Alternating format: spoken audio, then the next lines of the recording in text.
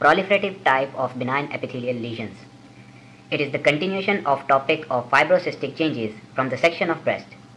As the topic is of very little importance because of the close resemblance to the carcinoma and very little differentiating features, so we will discuss it briefly.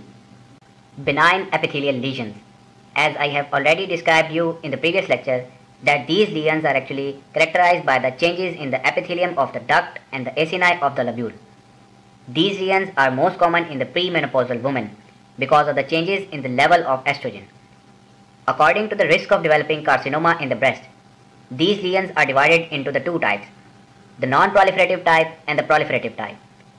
The term fibrocystic changes is used for the non-proliferative type and these are the lumpy bumpy breasts. There are no risk of developing carcinoma in the non-proliferative type, while the proliferative type is associated with the development of carcinoma in the breast. The proliferative type is further divided into the two types, that is the proliferative type without atypia and the proliferative type with atypia. The proliferative type without atypia is characterized by the proliferation of the epithelial cells, and the lesions contains the cells that are not clonal, that are that is that means they are not similar in characteristic with each other, and these lesions are not associated with any genetic changes in it. The lesions of the proliferative type without atypia are not the true precursors of the carcinoma of the breast. The proliferative type with atypia is characterized by the atypical hyperplasia, which means that there is a clonal proliferation of the cells. These cells are actually similar in characteristic to each other. The histological and the morphological features of the proliferative type with atypia are similar to the carcinoma in situ of the breast and there happens to be the genetic changes in the cells of the lesions. The chances of developing carcinoma of the breast in proliferative type without atypia are 1.5 to 2 times, while the chances of developing breast cancer in proliferative type with atypia are 4 to 5 times. The proliferative type with atypia is further divided into two types, the ductal type and the lobular type.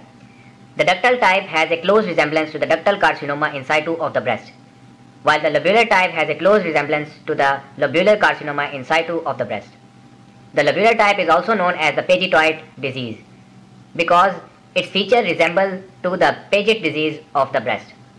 In this lecture, we will be discussing the gross morphology and the histological features of the proliferative type of the benign epithelial lesions.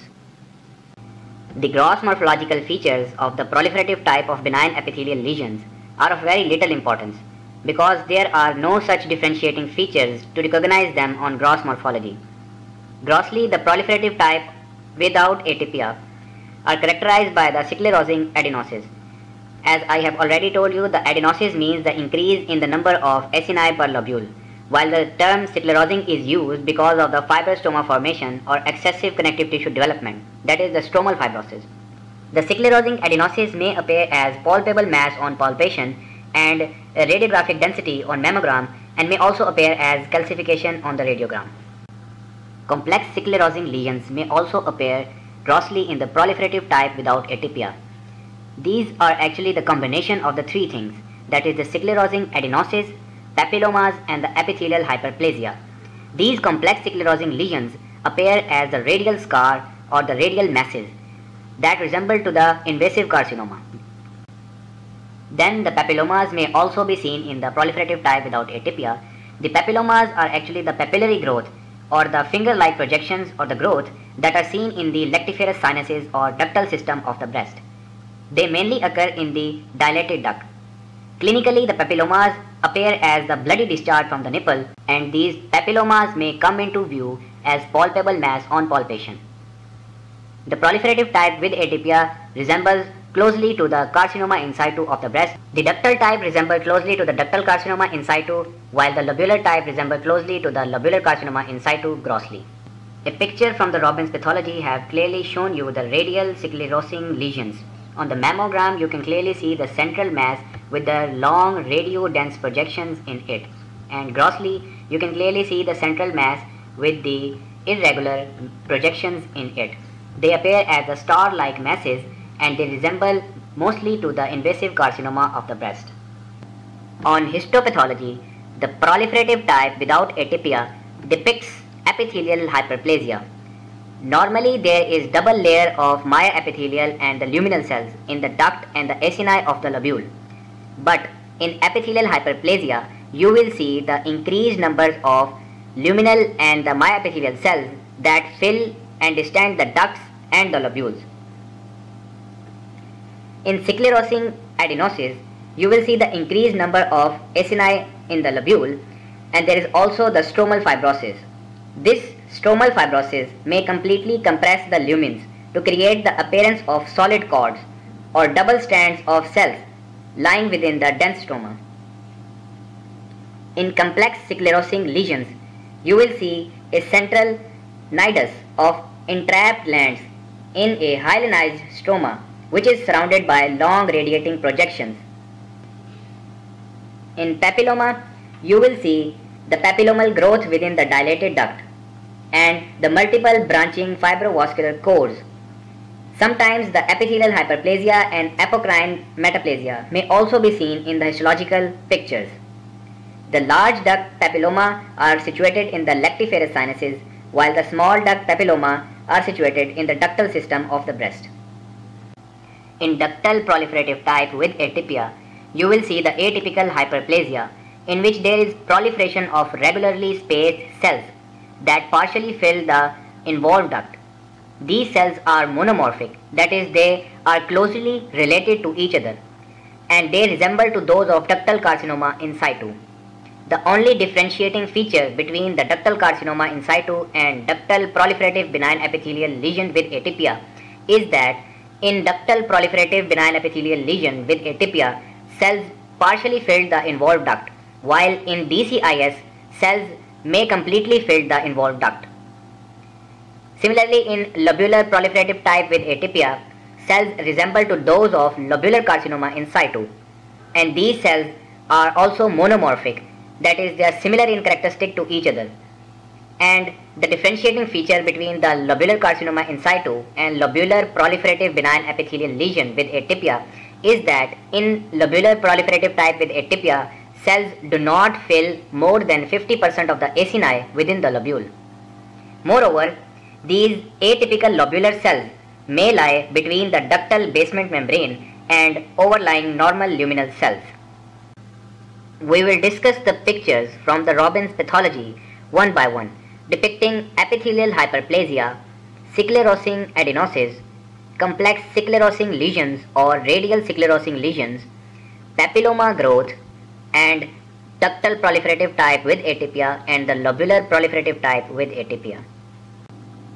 In normal epithelium of the duct and the acini, there are two types of the cell that is the myoepithelial cells and the luminal cells. The myoepithelial cells consist of the scanty cytoplasm and the nucleus which is compact while the luminal cells consist of the abundant cytoplasm and the large nucleus consisting of the nucleolus. This is the normal epithelium of the duct and the acini. Here you can see the epithelial hyperplasia in which there is the heterogeneous population of the luminal and the myoepithelial cells in the lumen. And these are the irregular fenestrations at the periphery. The increased number of the cells represent the epithelial hyperplasia. Here, these, these are the increased number of cells. In sclerosing adenosis, there is the increased number of the acini per lobule. These all are the acini in the lobule. And there is also the fibrous tissue formation or the fibrostroma for the term sclerosing. And these all the acini are arranged in swirl pattern. These acini are compressed by the increased fibrous tissue formation or the fibrosis in the stroma. Radial sclerosing lesions or the complex sclerosing lesions consist of the component from the epithelial hyperplasia, sclerosing adenosis and the papilloma. Let we find all of these components in this picture. This is the central nidus containing the small number of the tubules in it these tubules are entrapped in the fibrous stroma. This is the fibrous stroma. And there is the cyst formation in it. Epithelial hyperplasia can also be differentiated in this picture. And this uh, central nidus form the star-like structure consisting of the projections from it. These are the projections extending from the central nidus. This is a typical histological picture of intraductal papilloma in which you can clearly see the central fibrovascular core. This is the central fibrovascular core surrounded by the luminal and the myoepithelial cells. These papillary structures are arising from the wall of the duct. This is the whole duct containing the papillary structures in the lumen. In atypical ductal hyperplasia of the proliferative type, you can clearly see the duct containing the mixed populations of the cells that is the columnar cells at the periphery and the more rounded cells in the center. In this picture you can clearly see the peripheral spaces are also present in it which represent that the whole of the duct is not filled with the cells. In atypical lobular hyperplasia, the lobules are partially filled with the monomorphic cells. These cells are identical to each other. But the histological and even the morphological features of both the ductal and the lobular hyperplasia are not sufficient to differentiate them from the carcinoma in situ. Thank you for watching the video. Hope you will find this video helpful, productive and practical. Hey warriors, be productive and like, share and comment the video.